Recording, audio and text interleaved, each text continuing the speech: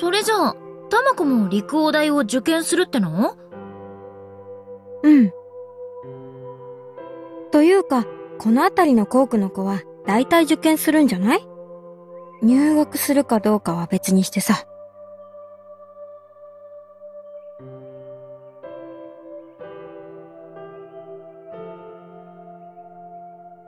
へえへえ、さいですか。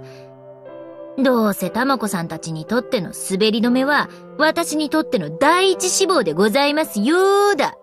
変な言い方しないでよ。それに私は、陸王大受かったら、ちゃんと入学するつもりなんだからね。あんまり東とか西とか、遠い大学に通うつもりはないの。そうなの？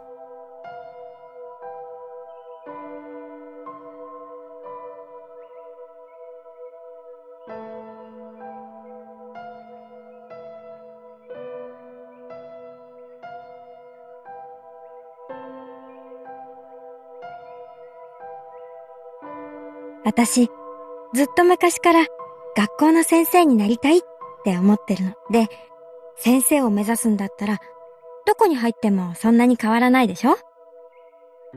だから、近くてやりがいのある勉強ができそうな陸王大の教育学部はぴったりの環境なのよね。そうは言ってもさ、いい大学出てないと出世できないよ。もともと先生って割に合わない仕事だし。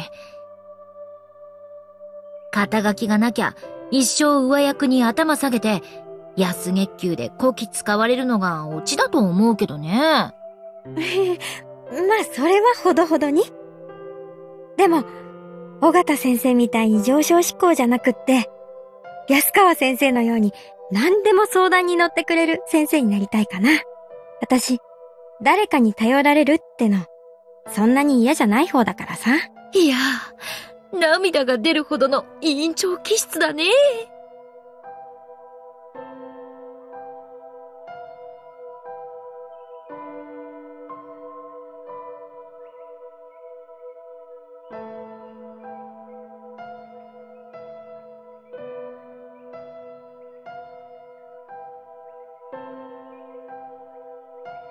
で、千里は？陸王大を目指すからには、なんか大きな目標があるんでしょ？そりゃもちろん。私の目標はズバリ世界征服。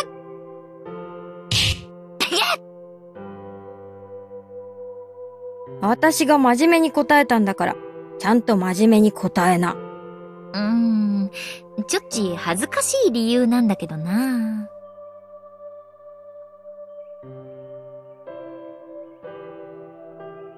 いやね。あの子の近くでしょ？あの大学ってさ。近く？あ、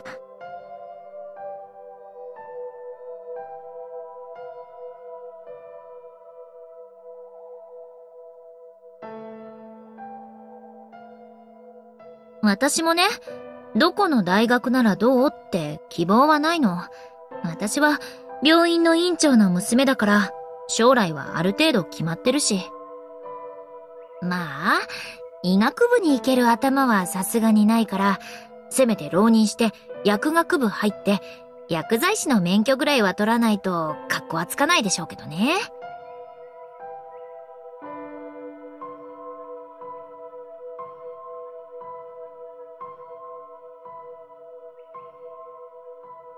大学卒業して就職したら、なかなか忙しくて会いに行けなくなるでしょ？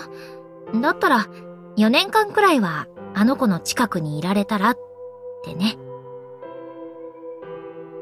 千里。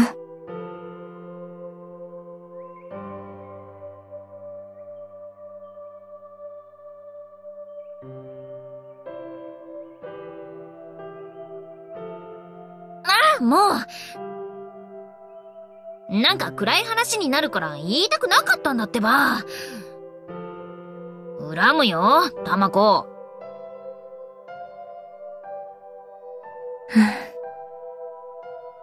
あんたは相変わらずだね。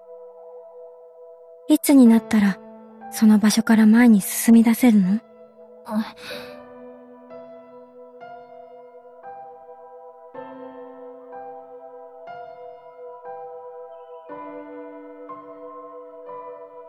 むしろ、私が知りたいよ。いつ、どうやったら、このでっかい荷物を下ろすことができるのかってね。そんなの簡単じゃない。あんたが自分から背負うのをやめればいいだけ。違う？